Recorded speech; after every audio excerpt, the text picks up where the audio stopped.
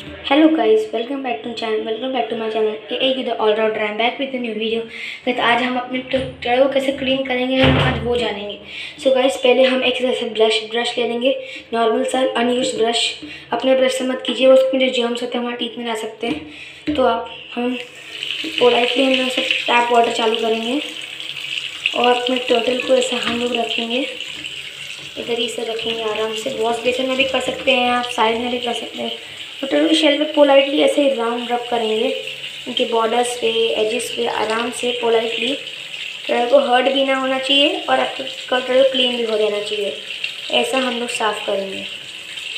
बहुत ही पोलाइटली जेंटी प्यार से करना है गाइस क्योंकि यहाँ पर हार्शली करेंगे टर्टल का शेल डैमेज होगा।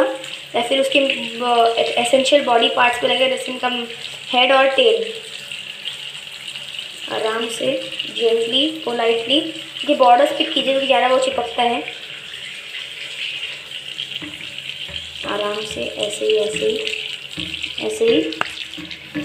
वैसे अपने अपने टर्टल को ऐसे उल्टा कीजिए और उसके यहाँ पर करिए, क्योंकि ये पार्ट सबसे ज़्यादा गंदा होता है। आराम से अपने टर्टल को साइड में लेके आके पीस कर सकते हैं। आराम से पोलाइटली यहाँ पर भी हैंड्स को कुछ होना नहीं चाहिए नहीं तेल को। अभी हम अपने अभी दूसरी कटर के साथ स्टार्ट करेंगे। नॉर्मली वैसा ही, जैसा सेम हमने भी पहले कटर के साथ स्टार्ट किया था। सेम जेंटली पोलाइटली वैसा ही क्लीन सा अच्छा पानी में आ रहा है तो अच्छा हो जाएगा ज़्यादा। जो ग्रीन ग्रीन दिखता है, आपको डर्ट होता है उस वही आपको साफ़ करना है।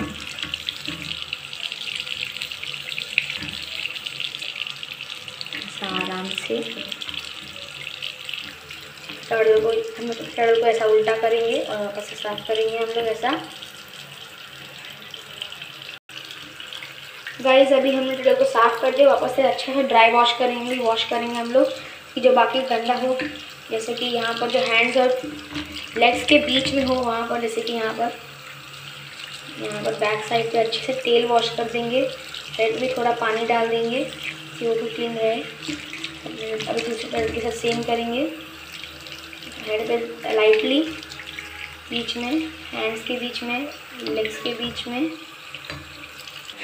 सो गाइस यही था आज का वीडियो अगर आपको पसंद है please like share and subscribe my channel और फिर मोर वीडियो देखने में लिए स्टे ट्यून नेक्स्ट वीडियो में shall be available very soon thank you bye guys to next